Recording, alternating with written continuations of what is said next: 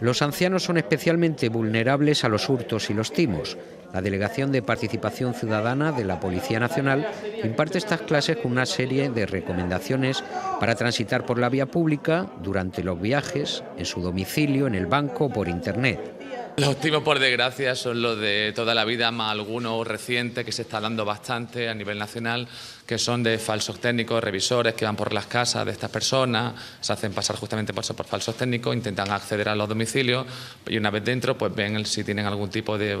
pensando en lo que le pueden robar. Queríamos reforzar un poco su autoestima y la seguridad cuando van por la calle y entonces, bueno, vimos que ya que contábamos con la Policía Nacional, que sería, sería interesante hacer un, un taller dedicado a este tema, un poco de, defensa personal, si se puede decir así, para el tema de pues si son agredidos por la calle o le van a robar, en fin, que ellos se sientan más empoderados. Los mayores se preparan si son víctimas de un tirón, se informan de los timos de toda la vida o los más novedosos.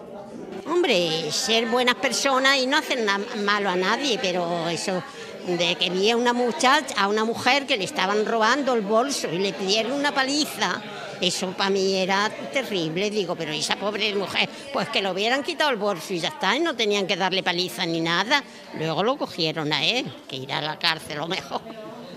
Como muestra un botón, camine por la parte interior de la acera si lleva bolso y evite hacer ostentación de joyas u otros objetos de valor y proteja su bolso o cartera en las grandes aglomeraciones.